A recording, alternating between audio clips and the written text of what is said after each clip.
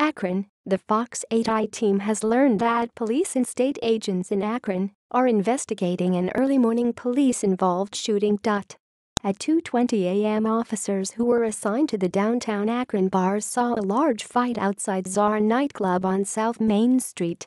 Some of the people from that scene ran across the street, where a police cruiser was parked. The officers left the cruiser and headed in the direction of the crowd. Shots were then fired by an officer at two men threatening other patrons and police with a firearm. Akron police, in a release, said that shots were also fired at the officers. Two men, ages 21 and 23, were hit with gunfire and taken to area hospitals in serious condition. One is at Akron General and the other is at Akron City Hospital. A handgun was recovered near one of the shooting victims. No officers were injured in the incident.